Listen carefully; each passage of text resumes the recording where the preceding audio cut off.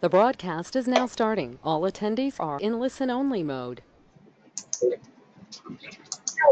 my name is Myra Brouwer from Council staff, and I'm going to walk you through a presentation on the Vision Blueprint Regulatory Amendment 27, which proposes changes to commercial management measures for the Snapper Grouper Fishery.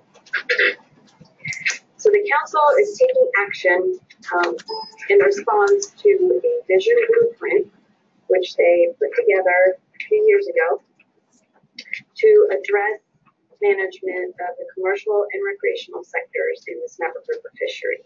So the blueprint outlines goals, objectives, strategies, and four areas, four core areas of science, management, communication, and governance. In 2015, the council prioritized action items that would be addressed through amendments to the Snapper Grouper FMP over the next five years. They chose to focus on actions that would address seasonality and retention in the fishery and began development of two amendments to address the commercial and recreational sector separately. So this amendment we're talking about right now is for the commercial sector. During the visioning project, um, we met with stakeholders up and down the coast, and one of the things they indicated they would like to see action taken um, in the near future was to allow equitable access and to reduce discards in the commercial fishery. So the actions in the amendment that I'm presenting to you today would consider split seasons, trip limits, seasonal closures, and minimum size limit changes for the commercial sector of the snapper grouper fishery. So here's a list of the proposed actions in the amendment. There are 10 of them. The first one looks at establishing a split season and modifying the trip limit for blue line tilefish. The second action would establish a commercial split season for snowy grouper. The third action would establish a commercial split season and modify the commercial trip limit for greater amberjack. Action number four looks at establishing a split season and modifying the trip limit for red porgy. Action five modifies the trip limit for vermilion snapper. Action six would implement a minimum size limit for Almaco jack for the commercial sector. Action seven looks at a commercial trip limit for the other jacks complex, which includes Almaco jack, lesser amberjack, and banded rudderfish. Action 8 would modify the seasonal prohibition on commercial harvest and possession of red grouper only off of South Carolina and North Carolina. Action 9 would remove the commercial minimum size limits for three deepwater snappers, and finally, action 10 would reduce the commercial minimum size limit for gray triggerfish only off of East Florida. So what I'll do now is I'll walk you through action by action and describe what the potential effects are for each of them. Beginning with action one, commercial split season and trip limit for blue line tilefish. Um, right now, the fishing year for this species is a calendar year, and the commercial trip limit is 300 pounds gutted weight. So under alternative two, the council is looking at specifying commercial fishing seasons and allocating the commercial ACL into two quotas, 40% to January through June and 60% July through December. Any remaining quota from season one would transfer to season two, but any remaining quota from season two would not be carried forward. Under that alternative, there are two sub-alternatives uh, for trip limits under each season. So for sub-alternative 2A, it would be 100 pounds gutted weight in season one and 300 pounds gutted weight in season two. 2B would look at 150 pounds gutted weight in season one and 300 pounds in season two. And here's what the council's preferred alternative currently is. So they would retain the January December fishing year, so no commercial split season for this species. Instead, they're looking at modifying the trip limit and implementing a 100 pound gutted weight trip limit from January through April and a 300 pound gutted weight trip limit from May through December. And you can see the other um, sub alternatives that are being considered uh, that have also been analyzed um, under that preferred alternative three. So here, I just wanted to show you the average monthly um, commercial landings by state in the upper um, graph there. and it's broken down um, by states and colors, and you can see that North Carolina is where the bulk of the landings uh, for blue line tilefish have been taking place. This is data from 2014 through 2016. Um, I'm sorry, from 2004 through 2013, And then, uh, since there were in-season closures later in the time series from 2014 through 2016, those years were excluded. On the bottom pane, you can see the percent of annual South Atlantic blue line tilefish commercial landings, also by state. Um, again, Florida's in the blue, Georgia, South Carolina combined together for confidentiality uh, purposes in the red line and North Carolina in the green. And this table here shows you the predicted um, length under the various proposed alternatives. So in bold, under subalternative 3A, you can see that the 100 pound January through April and 300 pound May through December would likely um, mean a fishery, fishery closure, an in-season closure could happen at the very end of July. Um, and just for reference, um, there's been closures in this fishery since 2013. Um, in June of 2013, um, April of 2015, that's when there was a big change in the ACL. And then um, there was uh, a closure in 2016, and then it reopened again for a little while um, at the end of August. The second species um, that the council is considering that um, kind of needs to go hand in hand with blue line tilefish because these two species are caught together in most of the South Atlantic um, area jurisdiction is for snowy grouper. So they're looking again at establishing a split season for snowy grouper. Right now, the fishing year is the calendar year. Again, the same sort of scenario where you have two quotas and you have carryover from season one to season two, but no carryover um, from one fishing year to the next. And here the council's preferred is to allocate the annual catch limit into two quotas. 70% would go to the period between January and June, and 30% to the period between July and December. And here are similar graphs to show you the distribution of landings uh, of snowy grouper in the region, but broken down by state and by month. And then on the bottom, um, looking at that percentage. So you can see it's a little bit more, more balanced. There's still um, good many landings in North Carolina, but then Florida um, also has um, a lot more landings of this species than for blue line. And here's the table that shows you potential um, season closures under the various alternatives. So under alternative three, which is highlighted on the bottom, we're looking at um, the middle column labeled mean. And so we're looking at possibly uh, remaining open during January through June. And there might be a closure at the end of September in the second season, July through December. So moving on for amberjack, again, they're looking at a commercial split season and changes to the trip limit. So the fishing year for this species is currently from March 1st to the end of February. There's also uh, during April a prohibition on sale and purchase, and the possession limit is one per person per day or one per person per trip, whichever is more restrictive.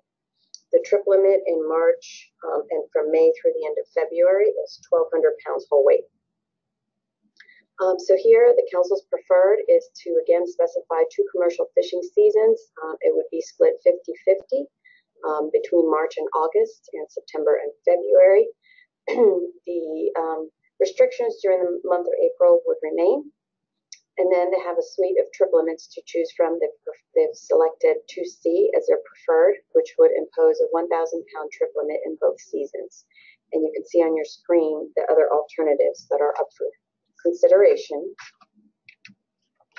Uh, under alternative three, the quota would be split 60-40, uh, the same six-month seasons, and that alternative also has its own um, suite of potential trip limits.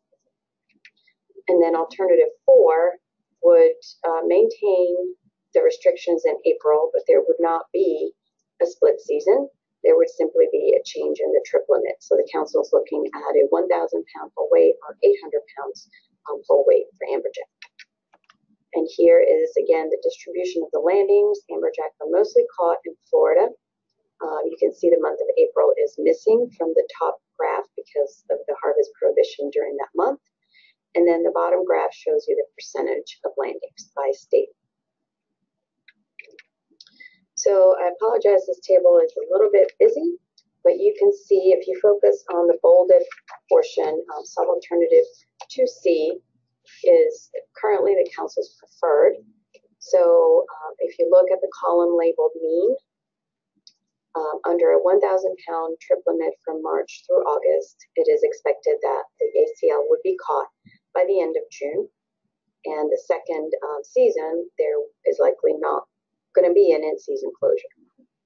Um, and so you can see the two the two scenarios for the different splits of the ACLs, and then at the very bottom under alternative four, without a commercial split season, what those two different trip limits would do um, in terms of how long the season would stay open. For red porgy, uh, moving on to action four, the commercial split season um, for this species is meant to address the issue of discards more so than the accessibility, like the other actions um, that we just went over. For red porgy, the fishing year is from January through December. During January through April, however, um, there is a sale, a sale and purchase prohibition on red porgy, and the possession limit is three per person per day or three per trip, whichever is more restricted. From May through December each year, the trip limit is 120 fish. Um, so under the preferred alternative, which you see on your screen, the council would specify two commercial fishing seasons and allocate the ACL into two quotas. 30% would go to the period January through April and 70% to May through December. And then the council would remove the January through April sale and purchase prohibition and retain the commercial trip limit of 120 fish for the remainder of the year. And then during January through April, they're looking at imposing a trip limit of 60 fish. You can see um, there are other sub-alternatives that are, have been analyzed uh, for the council to consider. Alternative three, uh, the split of the annual catch limit would be different. It would be split 50-50, um, January through April and May through December. Again, maintaining um, removing the January through April sale and purchase prohibition, maintaining the 120 fish trip limit for May through December, and then considering the same suite of trip limits there, um, 30 to 60 fish. And then under alternative four, the January through April harvest prohibition would be removed, and there would be a commercial trip limit of 120 fish uh, for the entire year. Here's the distribution of landings for this species. Um, by month and by state in the top graph. And this is uh, for information from 2005 through 2012 and 2014 through 2016. And then the bottom pane shows you the percentage of annual landings, um, again by state. And you can see how those lines have converged here in recent years. The table showing you um, the potential closures um, for this for the various scenarios considered for red porgy. So you have the no action at the top and the two um, scenarios with different splits of the commercial annual catch limit. So subalternative 2C is bolded, and um, you can see that during the first uh, January through April season, um, the current the, the, scenario would take land, the harvest through the end, almost the end of April, so it almost remains open the entire time. And then um, for the second season, we're looking at a potential in-season closure at the end of September. Um, so for, um, I mentioned that it's important for this species that council is trying to address the issue of discards. Um, commercial discard data currently are collected using a supplemental form that is sent to 20% of the active permit holders randomly. And then um, from 2014 through 2016, red porgy had very high number of discards. There were 24,754 fish that were reported um, discarded. And so this is pretty high compared to other snapper grouper species. There's also high discards of vermilion and gray triggerfish, and um, those three species are in our region caught um, together uh, frequently.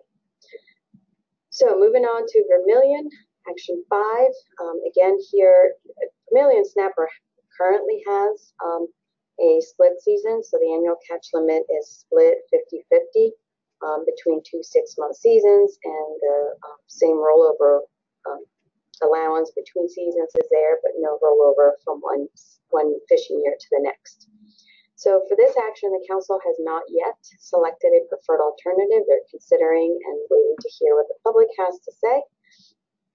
Alternative two would retain the trip limit and the trip limit reduction or step down in season one. And then for season two, the trip limit would be reduced to 750 pounds and there would not be a step, a step down in season two.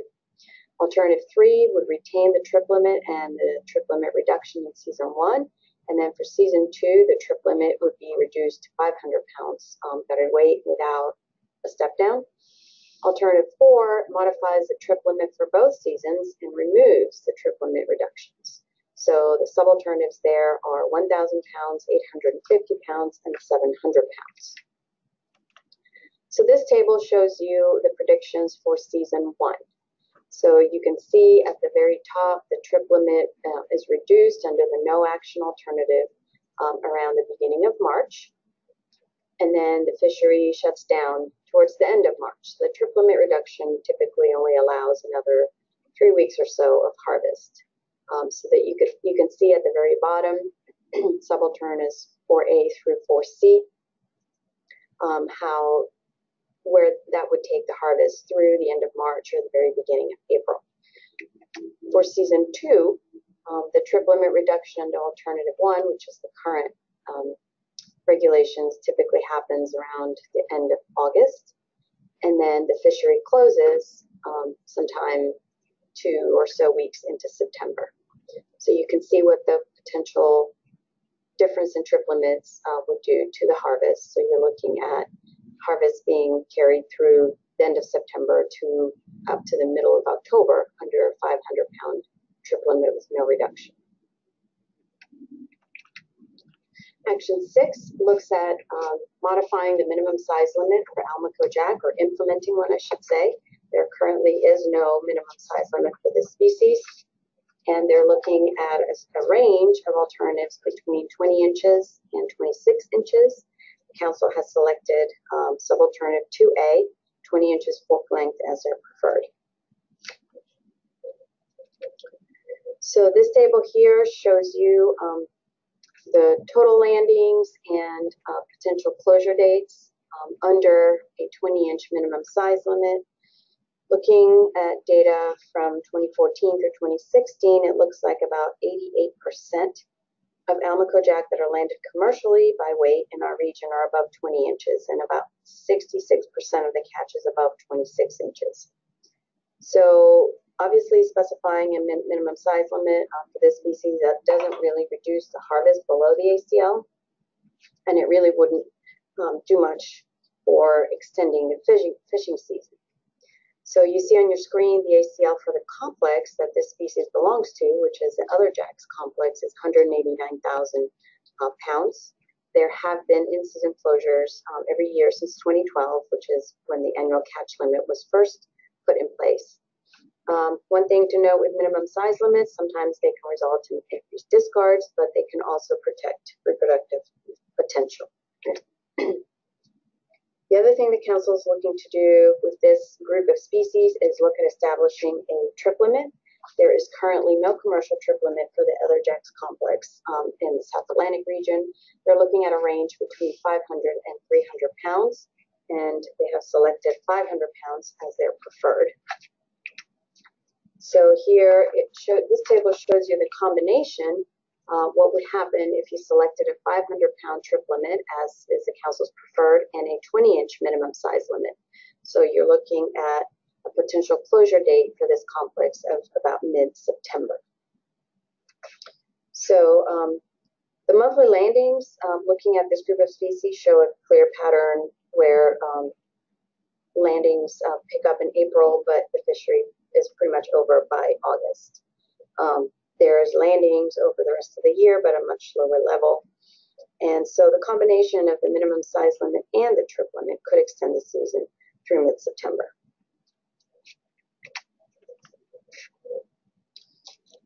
Uh, one of the things that the council set out to do um, initially in the early stages of this amendment was to make modifications to the shallow water grouper closure. So currently, during January through April, there is a sale and purchase prohibition on shallow water groupers um, harvested from or possessed in the in the South Atlantic um, federal waters. This group um, includes gag, black grouper, scamp, red grouper, yellowfin grouper, yellowmouth grouper, red hind, rock hind, graysby, and coney. So currently, the council is only looking to make changes to the um, closure for red grouper and only off North and South Carolina. There's concerns that red grouper are still in spawning condition when grouper season opens May 1st. And so the council's current preferred is to extend that closure just for red grouper and um, through May. So right now the um, closure only goes through April, so it would just be extended an extra month. Um, as I said, just for red grouper. So prior to the closure, um, red grouper landings off the Carolinas um, accounted for about 20% of annual landings in the whole region. So under preferred subalternative 2A, a January through May closure, uh, we're looking at possibly eliminating an additional 12% of annual landings. Um, the current maintaining what is currently in place would uh, minimize complexity because then you wouldn't have a different season just off the Carolinas.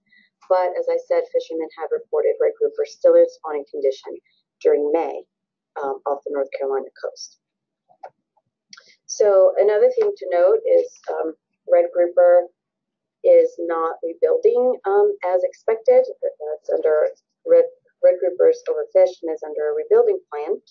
And um, in 2016, uh, commercial landings only reached about 15% of the ACL and they've been pretty low in 2014 and 2015. Uh, an amendment was recently uh, submitted for review that would reduce the total ACL for this species in 2018 um, to 139,000 pounds and 150,000 pounds in 2019. The current ACL is 780,000 pounds. So there's um, some other management changes happening uh, for this species. Moving on to action nine, this action would remove the size limit for certain deep water species. There are three deep water snappers that still have a 12 inch total length minimum size limit. And the idea here is to reduce discard mortality. And so the council is looking at removing that minimum size limit for queen snapper, silk snapper, and blackfin snapper. Um, for the data that we looked at from 2014 through 2016, there were only two trips that reported discards of silk snapper, and there were no discards for queen snapper and blackfin snapper. So there's going to be very minimal changes in discard or harvest rates um, from this action. But the idea is to curb discard mortality. And then finally, action 10 reduces the minimum size limit for gray triggerfish off of East Florida. The current minimum size limit um, is 14 inches fork length off East Florida and 12 inches um, off the rest of the South Atlantic states. Under the current preferred, the commercial minimum size limit would be reduced back down to 12 inches fork length off East Florida. And this was in response to um, action that was taken back in 2015, um, where both the state and the um, federal waters regulations were changed to impose a 14 inch minimum size limit off Florida. Well, um, off of South Florida, the frequency of um, gray triggerfish above 20 inches is very low. So this was creating a lot of discards in that fishery. And the state of Florida moved to Im- impose a 12 inch minimum size limit um, on gray triggerfish earlier this year. So Lowering the size limit would result, however, in approximately 20% um, additional gray triggerfish available for harvest. So landings could increase and result in shorter commercial seasons. Um, a decrease in the minimum size limit sometimes also can affect reproductive potential, potential as you know larger fish are going to produce more eggs and however, lowering the minimum size limit, as I mentioned, would bring about consistency with other regulations um, in our region.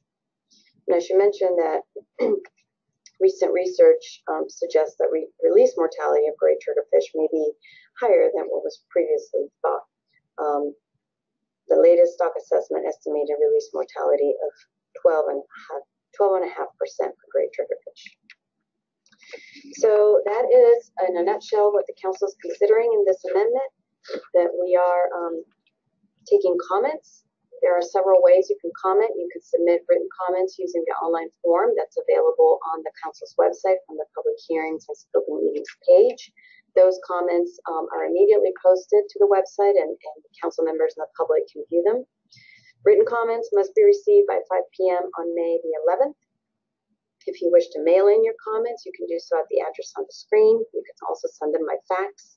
And we're going to be posting these presentations, uh, public summary document and the draft amendment um, online. We are also going to be conducting more public hearings. Um, there's going to be uh, webinars and then listening stations throughout. You can see the dates on your screen. And at those listening stations, council members will be present to um, take your comments, and those will become part of the record. So thank you for listening.